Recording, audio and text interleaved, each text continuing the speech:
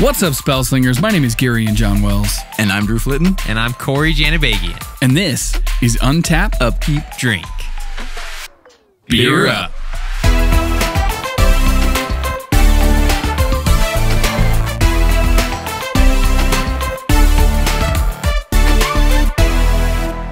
What's up, guys? We're back at it again with the Color Wheel series. This is number two. We're going WUBRG order, so we're going to start off today with blue. We did white We're also last going week. finish with blue. We'll finish with blue. we'll finish with beers, is what we'll do. I'm going to start with beers. Okay, then little, let's start with little beers. blue in the middle, then more beers. well, as Cory said, we're going to start with beers. Cory, you're up first. okay, today I'm drinking a really interesting sounding beer. It's uh, the Ripper from Stone Brewery, and it's a San Diego Pale Ale. See, I think they're just making shit up now. Yeah, I mean, they're just like, eh, fuck it, let's do what we want. Where, But are we, where, where are we from? San Diego. Perfect. That's what it is. Slap it on the label. The description on the back's kind of long, but I think it's worth worth reading. We stayed true to our San Diego roots by pushing the hop boundaries of this style. While some might think it lingers on an edge far closer to an IPA with all the dry hop flavor and aroma, it's actually right in line with the current day interpretation of a West Coast pale ale. Ours just so happens to have an Aussie accent that's cascading with a juicy amount of grapefruit and passion fruit hoppiness. So veg out or venture out. Either way, rip one open and taste this awesome golden nectar. So the idea with this beer is that it's kind of a fusion between India Pale Ales and Australian Pale Ales, right? Yeah. Along those lines. Or maybe it's like a, a Cascade Pale Ale. It's just a just like a weird fusion. Just What's the take. IBUs on that? I don't think it says the IBUs, but it's five point seven percent. A ripping swell of juicy hops. But yeah, so it's got like the Australian Galaxy hops, and then it has the Cascade hops, which is a Northwest hop. So it's like one of the few things I actually know about hops is like those two. so like I'm glad that they chose them. So I'm probably gonna enjoy it more than a normal kind of pale ale. Personally, I've got the Park City Brewery American Pale Ale. Uh, it is just a clean, supposedly nice, crisp pale ale. Don't really know too much about it. Doesn't have a nice story to go along Yeah. with it. It just They has the label. need a story. It's a red, white, and blue can with a goddamn eagle on the front. That is American as it gets. I mean, you're not fucking lying there. And Gary, what about you? All right, today I'm drinking Boulevard Brewing Company's Tank 7 American Saison Ale. Uh, like we said before, it's 8.5% alcohol and 38 IBUs. Uh, shit, just smelling it, I can smell quite a bit of hoppiness in here. We're all going to have some some bitterness today. Oh, that's a pretty beer. That though. is a Goddamn, beautiful that really does. golden. So this American Saison got a nice head, nice clear white, not clear, white head.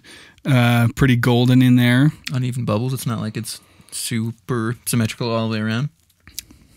Hmm. Interesting. For Saison, I thought it would be a little more fruity, but it almost has like the taste of what white bread smells like, kind of, with a little bit of hop notes. It's definitely got that hoppy. It's got this kind of zing to it, like this tanginess to it. Certainly better than an IPA to me. That's really drinkable. Yeah, that's yeah. that is a, a lovely summer beer, which ideally is what this American ale is supposed to be. This is like one of the most American fucking cans you've ever fucking seen. Like You it's missing pouring that stars right- and stripes. It's blue. Pouring that right over your computer freaks me out. I was like, oh God.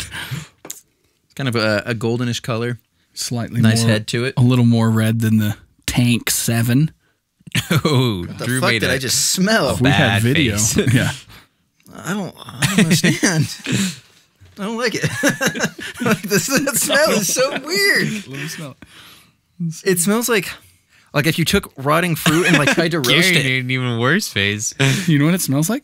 And it's going to be terrible for Park City Brewery. It kind of smells like sweaty feet. You know what It I mean? smells like sweaty socks. yeah. Does it taste like sweaty socks? I don't like it. Is is there Wow. a, is Yeah, there a you guys- standard that's what it for is. American pale kind ale? of it supposed to- smells buttery. Yeah. Yeah, and I fucking hate butter. That's That's the taste too. That's why I don't like it. Fuck that shit. It's butter. It it is buttery. Okay, so With bitterness on the end. let me give their- Whoa. So yeah. it really is quite American. yeah. So okay, butter. they they describe it as the aroma SA, moderate citrus, piney, and earthy malty notes. So I would say somewhat citrusy bullshit. The rest of it. Yeah, I don't. I I'm mean, not like getting- unless you're talking like earthy, as in like you walk through the fucking earth, and this is what's on your socks now. And the taste: moderate caramel sweetness, citrus hints, citrus with hints of grapefruit, piney notes. I'm gonna be honest. I didn't get any of that. Uh, the unless the all of those combine bitterness. to form Sweaty the sauce? taste of butter. yeah. So The bitterness you- on the end is if you try and the delineate the difference between the butter smell and the beer smell, it I don't think it smells like feet anymore. I think it's a combination of those two. But yeah, it smells buttery, tastes like butter with hops. yeah, that is. It's kind of a weird non-taste.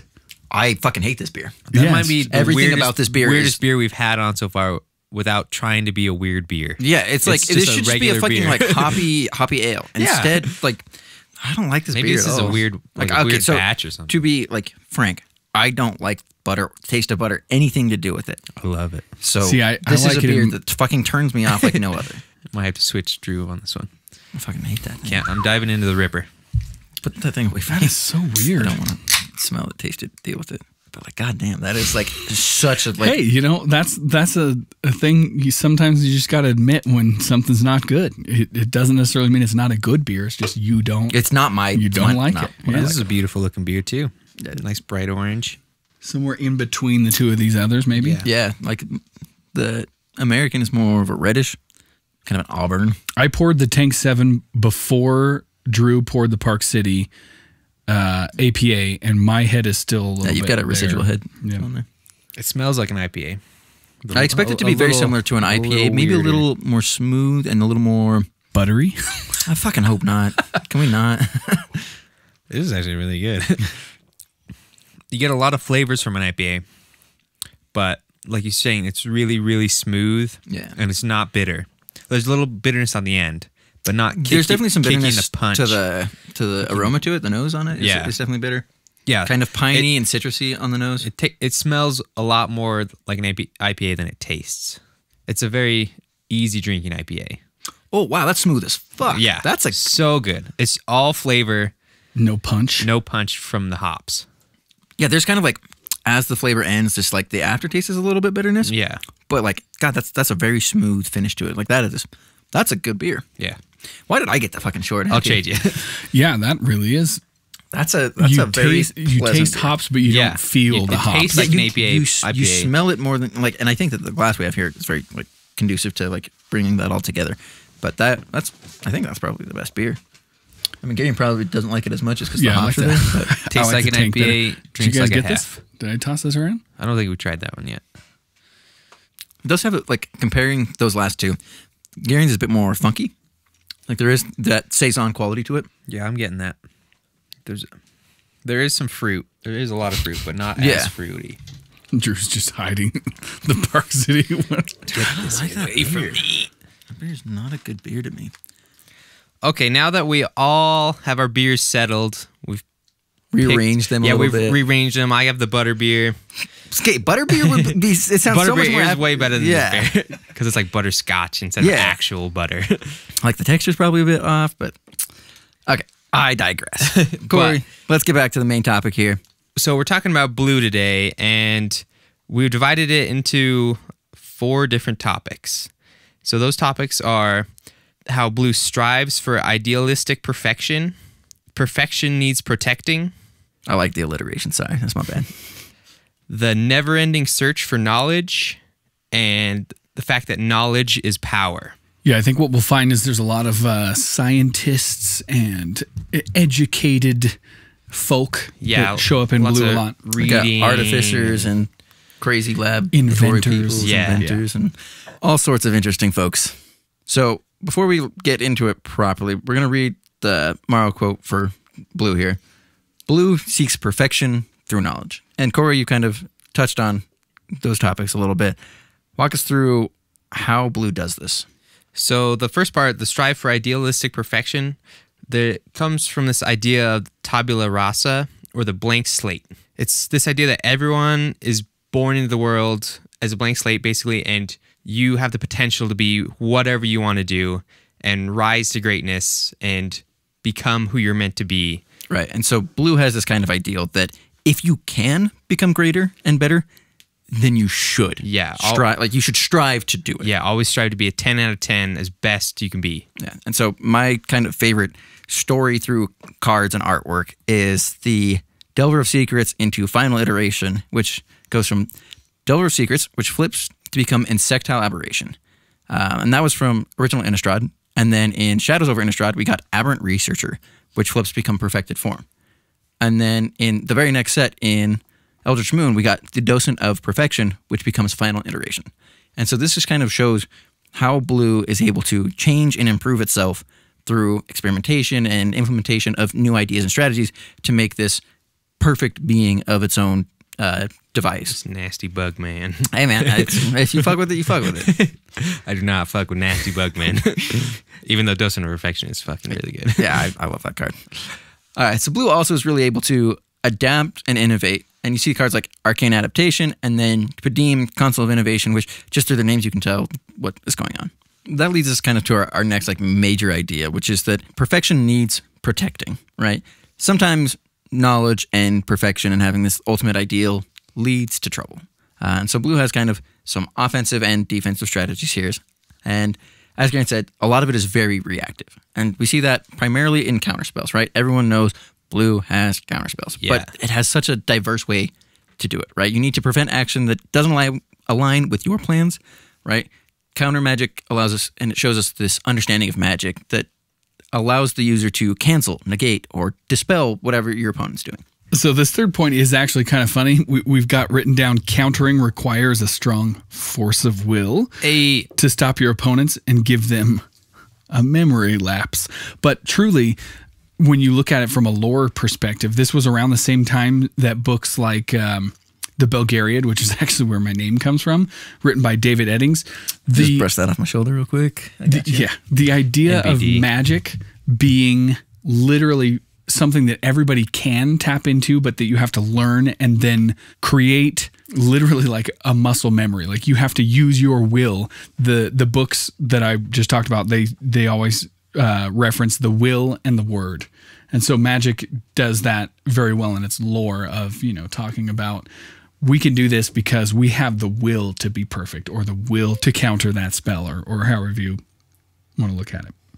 All right, sometimes you just really need to stop somebody from doing something, right? You have this kind of desperation, and you've got things like Pact of Negation, Foil, uh, Force of Will, where you're kind of putting yourself at a disadvantage potentially to make sure that your opponent doesn't do their stuff, right? Like Pact of Negation, you can literally lose the game because of it. yeah, but it's such a strong effect. It's the the, the hail mary kind of play.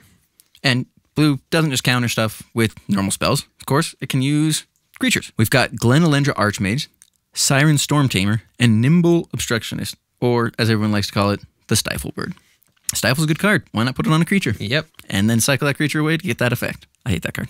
It's it's, it's hurt. me what so you'll many find times. too yeah, what you'll find too with blue uh, and we'll talk about it later is that they have this ability to flash things out and so it makes some of these creatures uh, basically a counterspell i mean you can they're able to impart their knowledge of magic onto their minions So as Gary was saying, like this flash idea is very strong in blue, and blue actually has a, a card, Leyline of Anticipation, which grants your all of your stuff flash. Um, and so this card is incredibly important in blue, just because it allows you to have all of the normal sorcery effect and creature spells to be reactive spells. So it changes Yep. your entire plan to be able to react to whatever your opponent is doing. And I don't think that can be understated. yeah, it changes the way your board state operates because you don't have to lay your plan out and give everybody else the knowledge you watch things happen and choose your moment Yeah, you're changing and deciding the tempo at which you play all of your spells and react to everything everybody else is doing. Yeah, and usually Gary's the one to say, and this is really important in Commander because, but like this card is insane in Commander because once you start to be able to operate on the last person before you use end step, it changes the entire way you can play the game. yeah Yeah, this is why Vedalken Orrery is so good. It's because it's colorless, so you give that ability to every color, not just blue. And it's, it's pseudo putting everybody a turn behind because they're not reacting to what you're doing on their turn. They have to do it the next turn after you've done it. right, and Leyline of course has the the Leyline ability where if it's in your opening hand, you can start with it on the battlefield, which I don't know what Wizards is I, yeah, I don't know why like- they made that ability. Like I wish, man. that's So on the other side from reactive, there's the proactive side of blue, which is just basically it means the best defense is the is a good offense, and these include the, your tap down effects like Icefall Regent, Frost Lynx, tr- Claustrophobia, and they also allow you to sneak in things with spells like Sleep. Sleep is a card that allows you to tap down your opponent's entire board, which just allows you to come in for damage and they can't react to it, which is just something that blue generally doesn't like to go shields down, and so this allows them to do that. Yeah, or just to buy you some time because they don't untap. You get an extra turn.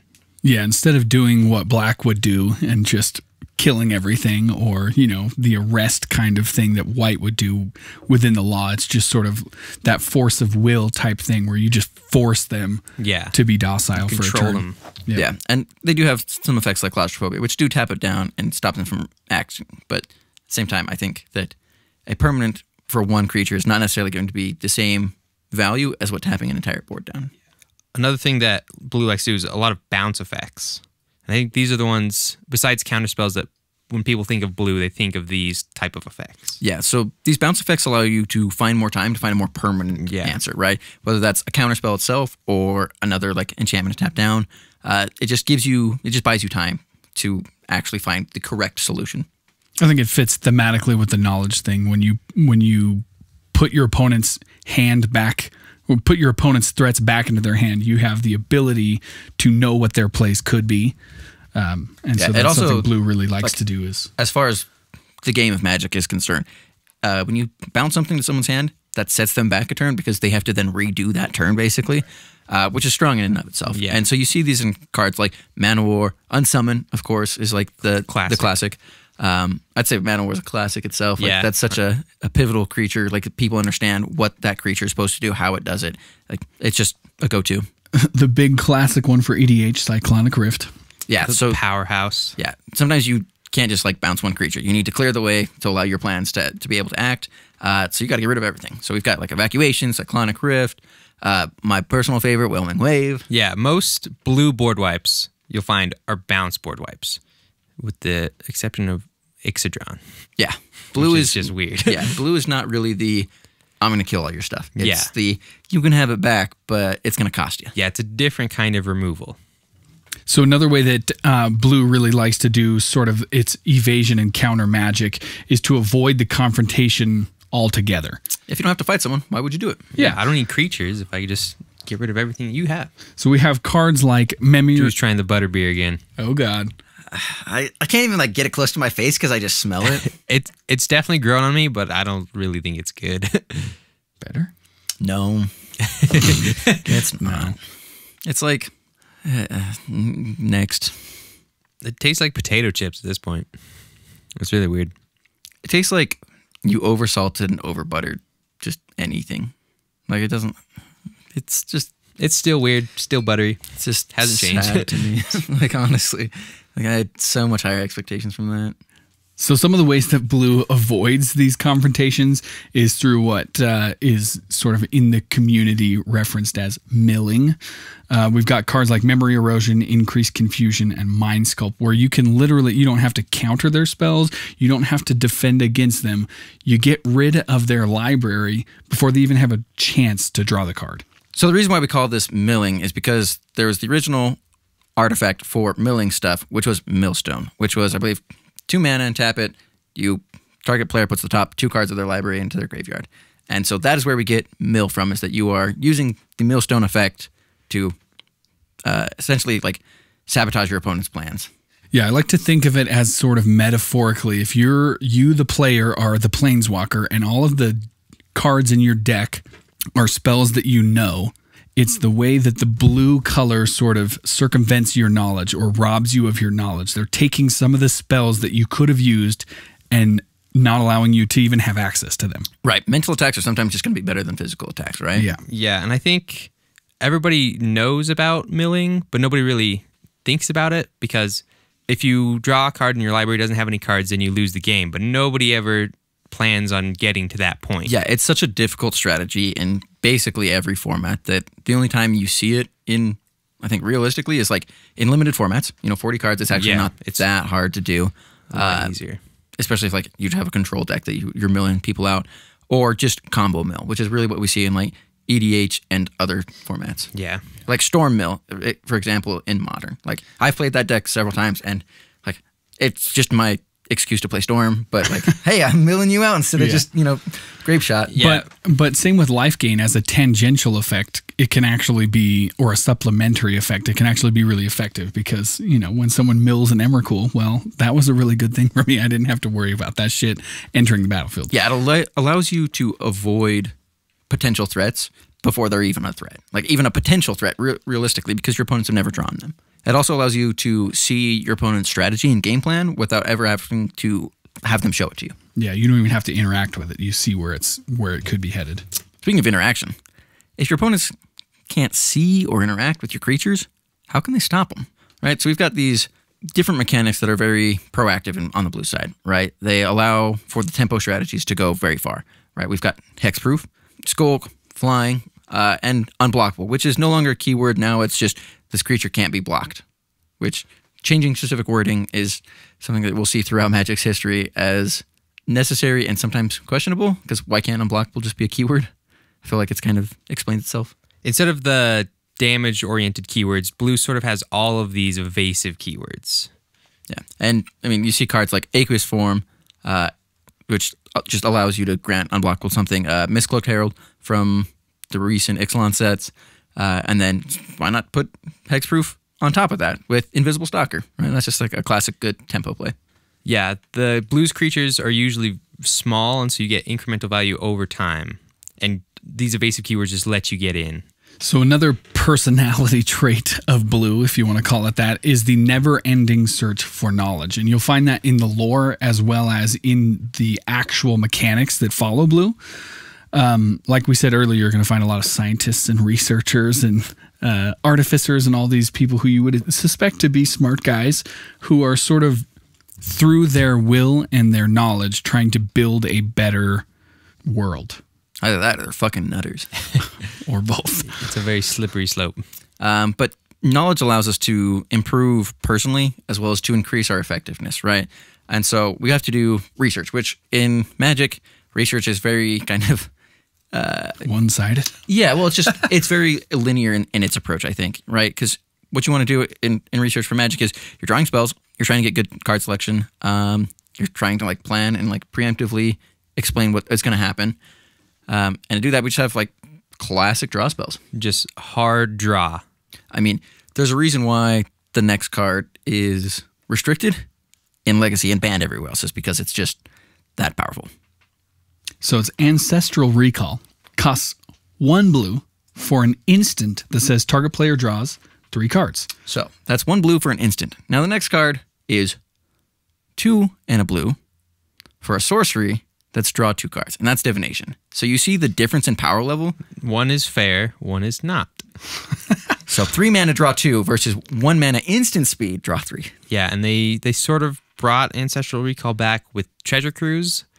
Only that's an eight drop, but you can delve for seven. Which allows you to exile stuff out of your It's a- graveyard. yeah, it's a pseudo Ancestral Recall, but that's how much they had to tone it down to make a balanced card. Yeah, they printed Ancestral Visions, which is a very similar, but it has Suspend instead. And even then, people are abusing it. So once they kind of went to Treasure Cruise, it was like, oh, wow, this is still a very good card. I'm pretty sure it's pointed in Canadian Highlander, like because it's still that good. Talk about unfair. The next card we'll talk about, Rhystic Study. I think that's a fair card. It is fair, but It's it's, fair, just, it's just ridiculous. annoying. Uh, you know, I mean, I don't like to be on the other side of it, but it's not like I'm salty about it. It's just like, yeah, okay, go ahead and draw. Yeah, it's it's such a good card because you get so much value off it because no one is ever going to pay one.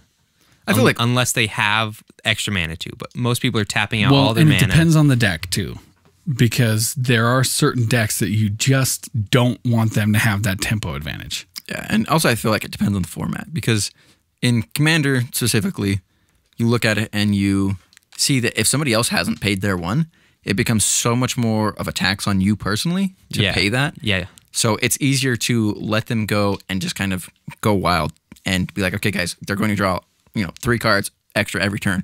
We have to team up and, and do something. Versus just like, I'm going to be the one to make a stand yeah. You have to we all do as it a or table. yeah, we all do it or we we don't do it. Um, but I think that as far as flavor is concerned, like Rhystic Study. You are chilling in your study. Yep. You are fucking getting all the knowledge you possibly 100%. can. Because of course, in real life, you know what the cards in your deck are, but now that you've shuffled it, you don't know what you're coming up to. Um, so card draw, and then this next section, card selection. Blue is really good at also scrying, and so if you can't draw the card, you can at least figure out what's coming up and whether you want it to be that card or reorder your cards and sort of have the knowledge of what the next turn will be. I feel tangential to that is the mass card draw that we see as well. We have just like Stroke of Genius, Braingeyser, or Blue Sun Zenith, where it's just, I don't care what my next card is. I just want all of the Yeah. cards I possibly can. Yeah, X is 10. I'm going to draw 10 cards. Uh, but with card selection, blue just wants options, options, options, options. Like, let me stack my top. Let me figure out what card I want. Let me figure out of the top four cards which one is going to be best in the situation. Allow me to make that choice because I know better than you know like what my deck's randomness is going to be. Yeah. I think it's probably important to know as a tangent here that blue is one of the colors that has the most options for unlimited hand size, um, which fits with obviously the card draw that comes with those mechanics, but also with just the idea of the lore that unlimited knowledge is always better. Um, and so, you know, those fit hand in hand with your card draw. Yeah, and just top deck manipulation in general is just so powerful. That's why we have spells like brainstorm and ponder, anticipate, impulse, dig through time, and then fact or fiction, fiction is a different kind of one because you you're giving an, an opponent a choice to give you cards, but you still see all those cards. Yeah, you know what the options are, and if you're in commander, this is where fact or fiction becomes incredibly powerful, just because you can work with somebody and say, okay, these are the cards that I need. And sometimes, Especially when you're the one digging for answers for the table. The Yeah. table's going to favor you a lot of the time. and I think I think Cory and I have teamed up multiple times where I'm just Oh, like, yeah. here, I have to make this quote unquote fair, so I'm going to give you four and set this other one Yep, aside. I'm going to give you this land or all the cards that you need.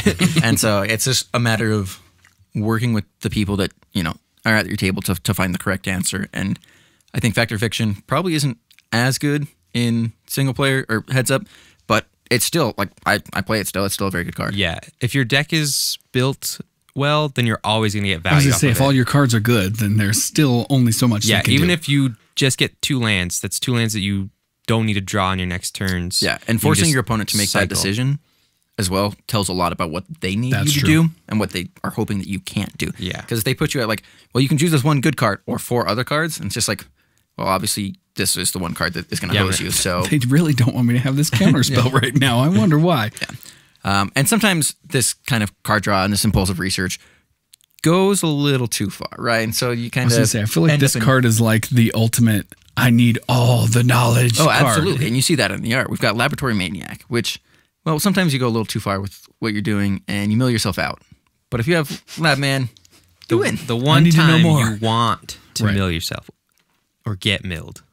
So another thing that I think fits with the top decking is the planning and preemptive knowledge. Right. So and that goes again with what Cory was saying with the like top deck manipulation, like opt, preordain, ponder, brainstorm, like all kind of fit in there, and it allows us to like proactively ensure that we're going to get what we want out of our draws. I mean, it allows us to maximize what we're getting really. So blue is very conscious about what spells it's using, and it tries to maximize its uses of those spells, right? And so in that theme, it's kind of knowledge begets more knowledge, and oftentimes it's a more efficient way to do so as well. So we've got Jace's Sanctum, Curious Homunculus, which transforms into basically the same idea as what Jace's Sanctum is, which allows you to cast instants and sorcery spells for cheaper. And it can't be understated how important that is in some decks because having just one colorless less means that you can cast one, maybe two more spells off of it. Yeah, the difference between casting one spell in a turn and two spells in a turn can add up very quickly over time. Yeah, and if you're especially if you're playing in the control mirror, like being able to answer their counterspell with your counterspell, or just be able to get past their counterspell with two spells, Yeah. is insanely important. Um, Blue also just cares about where their spells are, whether it's in the library or the graveyard. Uh, and so we've got cards like Snapcaster Mage and Torrential Gear Hulk, which allow you to cast instant sorcery spells from your graveyard. And again, like there's a reason why Snapcaster Mage is eighty dollar card Yeah. because that effect is so important and so strong, especially with Flash. And the new one, it's mission briefing. That it's pseudo Snapcaster Mage. Yeah, Snapcaster on a sorcery. Yeah, it's just what Blue wants to do with graveyard recursion is so much more powerful than green wants to do. It's just faster. Yeah, it's faster and It's- it's, it's just- more like spell heavy. Yeah. Whereas green is more creature and permanent heavy. Yeah. Another way that blue sort of exemplifies knowledge, uh, power through knowledge, is through its tutor packages, kind of teaching others and Or teaching yourself. or teaching yourself. We've got uh, we got cards like long term plans, intuition, archmage, ascension, and parallel thoughts. Yeah, so these are just kind of like general tutors that are, again, tutors are going to be insanely powerful. You'll see that in our black episode. We kind of talk about that. It um, enables you to have whatever answer you need as a second copy, basically. Yeah, and the color where you want answers to everything all the time because you're so reactive. Having all these tutors that just get you what you need either a couple turns from now, which you can manipulate, or just right now are so good. Yeah, and there's also just instant sorcery based ones like Merchant Scroll, Mystical Tutor, Personal Tutor, Spell Seeker, which is a new one from Battle Bond. Uh, these are, again, insanely powerful because if they're at instant speed and you can get an instant speed spell that is the answer that you need, like two mana extra for the answer you need is, is a small cost to pay. Uh, along with instants and sorceries getting tutored, the there's also the best artifact tutors are in blue. And we'll talk about that in a second. Blue loves artifacts. Blue is probably the heaviest artifact color. Yeah. Uh, I think white is probably a close second in that they have like their equipment package and stuff. But blue loves technology. It loves historical knowledge. Uh, sometimes they want the latest and greatest tech. Other other times they want just to discover what the old relics are and how to figure out and use them. Um, but blue loves artifacts and inventions. Just look at the original badass, right? We've got Urza, right? And Urza getting that reprint in Modern Horizons. OP. I was gonna say this is the newest of the original badass. Yeah, like the fact that they're printing Urza in a normal set for the first time is insane. And he's exactly, I think, what everyone Would thinks expect. Yeah. that he would be like. I mean, he makes Moxen. Yeah, he he cares about artifacts. He makes artifacts and then uses them. Uses them. Yeah. Yep, I, he's insane. If you if you had to think of one character from the lore of magic that embodies blue, it's Urza. I mean, the dude was obsessed with knowledge and creation. Yep. Welcome to Blue. So his mantra sort of is the more you learn, the more you improve. Yeah, and so we see that in cards like Etherium Sculptor, and then just you get better at creating these artifacts, right? So we've got mechanized production, efficient construction, the ability to just pump out artifacts and to do it in a way that is faster and better than ever before is really just kind of something that Blue embodies. Yeah, just making everything cheaper or just making more and more and more of it. Yeah. And and then being able to use those things because in a lot of other colors you see artifacts as sort of this old magic that you come across that has an effect, whereas blue sees it as old magic that I can now exploit for my knowledge and You can learn further from my it, you yeah know, and it's learn from like it. You benefit so much from learning and improving upon these old tools, right? And so we see that in uh, Argivian Restore, Power Artifact is something that everybody I think should know about if they don't already. It's going to be a costly card, but the broken shit that you can do with that card is, I mean, it's next level. It's where a lot of infinite combos are born. Yeah, there's a reason it's a hundred dollars. So another thing that blue does really well, um, specifically for artifacts, is the ability to go find those artifacts. And so it's kind of like you know, blue's the archaeologists of the colors, um, but there's a, like we said before, there's a whole suite of artifact tutors in the color blue. Um, you know, including cards like Whir of Invention, Fabricate, and Tinker. Um, and we'll talk about that a little more in Ramp too. Um, but we have this idea where we talk about artifacts as tools, creatures. Are they both? Can they be both? Yeah, blue is Wow. Blue has this kind of unique ability to turn artifacts into battle bots. Yeah. You know, like uh, it just has this innate, I guess, prowess to say, okay, this is cool, but what happens if I turn it into a creature that can kill things? But we've got cards like Saheeli's Artistry and Soul Artifact, which I just love the art on. You know, gotta love them scissors. See, Saheeli's Artistry is like a perfect card for that of using like the idea of ancient, you know, artifacts and technology to create whatever you want. The card reads choose one or both, create a token that's a copy of target artifact, or create a token that's a copy of target creature, except it's an artifact in addition to its other types. So it's like making, like you said, like Yeah, you take something that is old and powerful and you copy it and you make a new one. You learn how that's done, or you find uh, a creature and you're able to Create Try- technology that like Yeah, mimics yeah, it. you know? improve on it. Yeah. cool shit. Blue is a good color. Blue is arguably one of the most powerful colors, and for a long time, it was considered just the most powerful cards. Top five at least. Uh, but we see cards like Omniscience. You know that the name itself, I think, speaks for itself. Also, it's just really good. if Yeah, it able to play exemplifies sort of our last tenet of blue, which is that knowledge is power. So the search for knowledge is sort of the purpose of blue, and the reason is because knowledge is power. So they win the game. They they pursue their means through the knowledge of the game, through the knowledge of the mechanics, through knowledge as a general you know sense of the word throughout the lore. Right, and so that kind of enables Blue the power to govern. Or at least they feel it enables them. This it's a similar concept that they share with white in the in the governing sense, and that's why Azorius is the control colors scheme. But it's just this idea that blue has these laws and rules and regulations to improve everybody, but they think that instead of laying down government rules, they are going to come up with these ideas that everybody needs to follow. Since I've spent my whole life studying all this stuff, I know what's best. I have Yeah. the most knowledge. It's kind of this like idealism Yeah. in there, where it's just this is this would make the perfect society if everybody followed these rules. I think a good analogy is that white has laws and they follow the laws, whereas blue is sort of striving to find the perfect laws. They want to make new laws that are better. Um, and they think when they, you know, gain that knowledge that everybody else should follow suit. Right. And those who know better, those with the knowledge, are best to judge others. Uh, and we see that in Alhammarret High Arbiter. Um, and there's the other Arbiter Sphinx that kind of show this idea that if you know the most and you're kind of this governing body, then that you should be able to arbitrate what happens in civil disputes.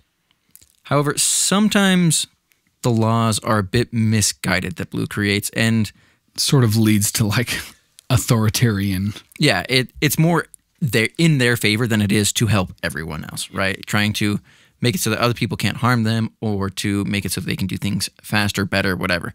Um, and we especially see this in like stopping people from attacking you. Cars like propaganda, war tax, uh, Llawan cephalid. Cephalid Empress. Ooh, Llawan cephalid. Yeah, the cephalids, if anyone remembers those, back in the day, gross. a little oppressive, heavy on the mill, but overall, not a good tribe. So blue sort of feels like it has the power to bend the rules, um, and in general, it's bending it in an, in in its own favor. You know what I mean? Trying to make the best situation for itself because the blue player or the blue color as a whole thinks it knows best. Yeah, and some of this you'll see as game mechanics, right? There's this kind of like cleverness to blue. Um, that has these like tap and untap shenanigans, and Which is technically against the rules. yeah, normally you're allowed one untap, and that's at the beginning of your your untap phase, right? Um, but cards like Pastor might allow you to get beyond that and give you bonus activations and taps. Garion brought it up earlier about God Eternal Kefnet and how just powerful that card is. Just the manipulation and the rule bending that it can kind of do. Yeah, it allows you to cast a spell almost for free. Yeah. Like the fact that it gets rid of mana cost on it, and it also allows you to do that just from drawing the card, right? Normally you have to draw it, you cast it, and it allows you to cast a copy, meaning that you keep the original. So it allows you to cast that spell a second time, which again, like blue, as, as we're going to talk about here, has this very interesting kind of rinse and repeat idea that I have, uh, which is just clone and copy. Yeah. so looking at this god here, I, it must have been a different card that I was playing with at pre-release that he was able to scry with, but he was scrying two each turn, and I think that's why it was brutal because anytime I would kill his Kefnet, he'd scry two and put it to the top. I think that's what was happening, and I was Yeah. like, "Fuck that card." uh, but either way, yeah, it's blue being able to control what you draw, being able to control what happens, how things are costed. Um, and yeah, like you said with the clone and copying, they're able to like create this technology that mimics everything else in the best way. And it's not always technology. Sometimes it's just kind of ethereal apparitions. It's magic shit. It's basically the idea of like if you see something you like and you have the knowledge to be able to create that or the power to be able to create that, uh, you just do it yourself. So we've got uh, spells like Cackling Counterpart, Followed Footsteps, Body Double, Quasi Duplicate, Sakashima the Imposter, and Spark Double. And of course, there's the OG clone, and then there's also a lot of cards that make you get you lots of copy of clones, like the Rite of Replication or Clone Legion. Blue also allows you to clone more than just creatures, right? You got Clever Impersonator, Copy Enchantment. Um, there's again, we've talked about the ability to copy artifacts, and it even extends to spells, right? Blue kind of has this idea sometimes. Nice spell, I'll take it. You've got Twincast, Echo Mage, Narset's Reversal recently. Like there's a lot of ways to kind of foil your opponent's plans by doing whatever they're doing, and sometimes cheaper, right? So we've got like Mind Control, Mass Manipulation, Sower of Temptation. Love that card. Uh, you can just take permanence as well. We've got Blatant Thievery, Memnarch. Cory, you love Memnarch. I do love Memnarch. And of course, there's big cards like Expropriate, which lets you take permanents and also extra turns, but we'll get to extra turns later. So we talked about mill a little bit earlier, but within this pursuit of knowledge is power, um, knowing that knowledge is power, blue does what it whatever it can to limit your opponent's quote unquote knowledge, Or, just drain their psyche. right, or or limit its control over its own mind, so to speak. When you're talking about the mill strategy, so you've got cards like Curse of the Bloody Tome, Fraying Sanity, and Psychic Corrosion that are just basically taking away that person's or that player's options. Just slowly whittling them Yeah, down. it's just an attrition cards of out just of their slow library. and consistent. You don't get to play those spells or those spells. Yeah. Also, that land is now garbage. Now, as the predominant black player uh, among the three of us, I really, really like black. I love. I mean, of us like black. I mean, who Black's so doesn't good. like black, right?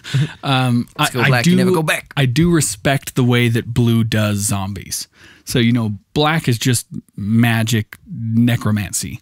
Um, but the way the lore ties in with blue, their zombies are more like we were saying before we started the the episode, kind of Frankenstein, right? It's all Yeah, about it's an- science and like- rebuilding. yeah, exactly. Yeah. it's an alchemical approach to create life, not simply animate the dead. Yeah. Right? You get bits and pieces, you put them together, and then boom, hit them with that rooftop storm. You're using technology to put all this stuff together and cast Stitcher your damn Geralf is like the perfect example of what we're Oh, yeah, talking. Geralf is in there. That's uh, Gisa's brother. We'll talk about her next episode. I brought it up earlier, but the last thing that blue. It's the strongest thing It's- you can do in Magic. Yeah. It's broken. It's dumb. They keep printing cards. it's upsetting because I f- hate fucking Nexus of Fate, and I've been playing against it for so long.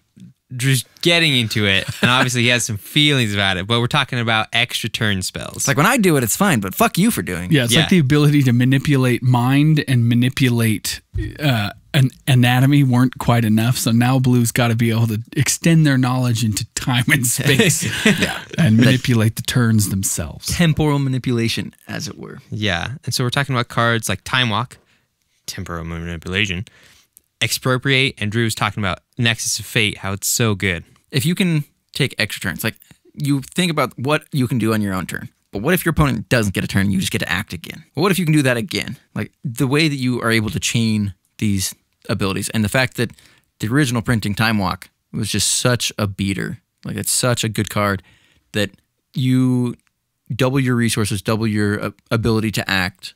It's just incredibly strong. Yeah, you're literally moving at twice the pace the other your opponents are. Well, Even if you just think in like terms of just like your individual faces, double the draw, Yeah. double the untap if you have untap or and end tap mechanics, double attacks, like without them being able to do virtually anything, assuming they don't have instants. But even then, they burn instant. Guess what I have next turn? Yep, on my next turn, you all you blow all your answers on my last turn. Well, and just the fact that they don't get a chance to untap between those turns can be enough to burn them between the two. So all of this kind of ties into what blue is known for, right? They're You think of- OCD as fuck. well, I was going to say that blue is just most known for its control. Yeah. Right. It is the control color. You think of blue, and you know whether it's tied with black or white or green. In some cases, like blue is the control color. It is the color that is going to be most heavily influenced and control decks. Right? Blue th- the blue wants to be in control of the situation at all times. Period, right? Always wants to set the tempo of the game. It wants to dictate like all the rules. It wants to change how the game is played. Basically, it wants to control the game. What's allowed, when it's allowed. Yeah. Sometimes just say no. So now that we've got through some of the overarching themes of what blue likes to do, let's talk about some of the main mechanics that you're going to find with the creatures and the spells within that color. The nitty gritty. Yeah, so let's talk about creatures in combat. Cory, you got a list. Okay. So there's obviously a lot of tribes, and you can group them down. But some of the most notable ones in blue are that your mo- your merfolk, your sphinxes, your fairies, homunculi, sea creatures, your shapeshifters, your blue zomboys, your illusions, and of course wizards. And of, Of course, course. we've got kind of the newer tribes. We've got like Artificer and stuff like that in there. Yeah. But those are like Blue's main tribe. Yeah. Like Homunculi is kind of like a, an offshoot. yeah, but- a lot a lot of these tribes drift into other colors, but I was going to say it's easy to say humans, blue. but humans goes kind of for every, Every color. color. Yeah. Yeah. Um, Blue also has very specific mechanics. Yeah, blue, like we said before, focuses very heavily on evasion and less on straight up just combat tricks. So you're going to see a Blue doesn't want to just punch you in the face. It wants to go around you and like yeah. like cut you a few times. Yeah, you're going to sneak. find, especially in their creature types, that there's a lot of flying just in the types of creatures that they have. Um, flying is also Flying's a just. type? Well, no, I mean, Pokemon their types of creatures have flying. they have lots of flying. birds and fairies and sphinxes. flying Um, wizards. and and wizards who can use their magic to fly. So f- flying is a very uh, recurring theme in a lot of blue cards. We've also got flash, which is kind of an interesting one where we talk about tempo and control. Give your creatures instant speed. Yep. Okay. It's controlling not only the tempo but also the knowledge because if someone attacks into an empty board, you knew more than they did. I actually did have something to block with. You just didn't know, right? You can cast that at any time. Punish them for it. Yep. We've also got Hexproof and Shroud. Um, like we said before, Unblockable is kind of on the wayside now. They don't really print that anymore. They kind of word it differently. But Hexproof and Shroud are sort of, instead of me dealing with your threats, it's making it So you can't deal with nearly impossible for you to deal with mine. We also see mechanics like Skulk. Uh, it's kind of a, a rare mechanic on the on the wayside, but it's a fairly strong mechanic that allows you to get your smaller creatures in for damage. Blue also likes their clever clever nonsense, instant speed especially, right? We've got tap and untap abilities. We've got bounce, flicker, blink, all of these things. And just to stop you from doing anything, you've got these tax effects like propaganda. And because blue is just so obsessed with knowing what's going to happen next, lots and lots of scry. Yeah, Scry is such a powerful mechanic. It Strike doesn't three is seem almost like draw it. card. I was Yeah. to say it doesn't seem like it, but after you do it a few times, it becomes extremely important. Yeah, anytime you throw land to the bottom and then draw an answer, it just like immediately validates whatever you've done in the rest of the game. worth the mana. Speaking of mana, we've got mana ramp and mana fixing, and the way that blue does it is not exactly the same way as some of the other colors. Green obviously is just really good at grabbing land, um, but blue sort of has to do some roundabout things. First and foremost, we know that there's a lot of colorless ramp through artifacts, and blue is very good at tutoring for artifacts. So, one of the ways that blue can ramp is through its affinity for artifacts, not truly affinity. Affinity also broken. Also broken. Put that on more shit Um, Drew doesn't like but likes to play. Yeah. But we've got cards like High Tide. We're very good in blue at getting infinite mana. So being able to generate more mana than you spend. Like blue cares very much about having islands, and whether that be because of the creatures or because of island walk, because island walk still keeps popping up for whatever reason, or just for the ability to ramp. Like you said, high tide doubles your island production, and it all of a sudden like you go from eight into sixteen. I mean, minus the cost of high tide itself, but you're still getting a big bang for your buck. It's not. It's a one-time blow off versus like ramping for a forest or something. I was going to say it's more thematic because it's like magically creating mana instead of actually going and getting more land for you to utilize Right. turns later. For sure. Another thing that blue is really, really good at is creating infinite mana. And like Garion was saying, it's using these artifacts, and like Drew was saying, the untap tap shenanigans, and so using cards like Power Artifact and Basalt Monolith combo, or I think is it Grim Monolith, one of the mo- Basalt. one of the monoliths, and then just tapping and untapping, just over and over, creating infinite mana. Or Isochron Scepter, Dramatic Reversal, and any artifact that taps for three. Yeah, Like there's a lot of ways just- that blue is enabling infinite mana combos through artifacts. Yeah, they're basically just able to, like we said before, bend the rules in a way that nets you net positive mana. And being able to bend those rules means you can do it over and over again. Yeah. So obviously, blue is insane at card draw. We're not going to belittle your intelligence to say that, oh, these are the best cards. Like, blue is good at card draw. All the cards. is what it does best. Yeah. However, blue has a lot of interesting ways to go about removing threats. Yeah, you're not going to see a whole lot of just standard murder cards in blue. You're going to see things like counterspells, which effectively is the same. Uh, you just require a little more knowledge and skill to be able to use it. Yeah, they're basically played at a different time. Yep. You've also got bounce effects, which we talked about earlier. Instead of just removing a creature from the game or tossing it to the bin, you're just pacing them. You're making them recast that creature. You're putting it back to their hand, setting them back a turn. Um, and sometimes that's all you need. The rare but powerful creature destruction in blue is kind of the notable one here. Uh, we've got Pongify and Rapid Hybridization. Blue generally doesn't destroy creatures. That's not the way the blue does things. Um, but sometimes it might change those into different creatures. Another way that blue does really well to deal with their threats is through their board wipes. And the way in which blue operates their board wipes is, again, the mass bounce. Um, that's where we get Cyclonic Rift and things like that. Yeah.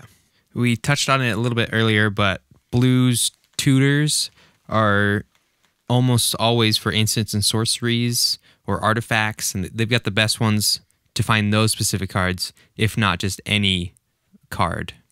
Yeah, blue also just has this kind of sub theme that we've we've mentioned. Uh, token generation via clones and just the mass tokens.